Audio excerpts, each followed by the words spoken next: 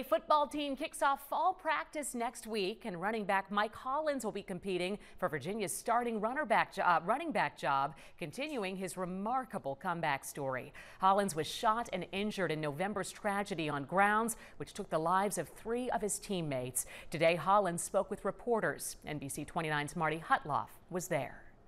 Without God, I wouldn't be here today, knowing He has His hand in your life and just believing that, you know, I'm here for a reason after everything that happened. Just six months after suffering a bullet wound, Hollins amazingly played in Virginia's spring game in April. When I first, you know, touched the field and got to play, um, it, you know, I just felt free.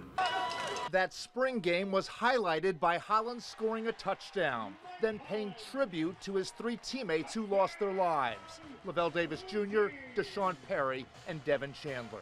That moment was, it was special.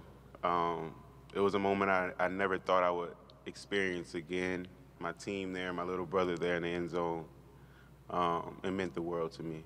There was some national media here to talk to Mike Hollins. No questions were permitted about the November tragedy itself or what might have led to it because there's still a trial to take place. Hollins says he's now at full strength physically.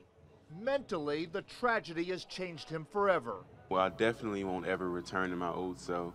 Uh, I'll always, you know, be carrying, you know, something with me. Hollins says wins and losses this season won't define the legacy of his three teammates who died. We don't have to go undefeated or you know win a championship just to uh, you know justify their legacy. Continuing to be a team, you know, in their honor is. Uh, you know, uh, doing their uh, legacy really well. Hollins says he's playing the season partly for the people of Charlottesville. I feel like we've all been through something, you know, very traumatic.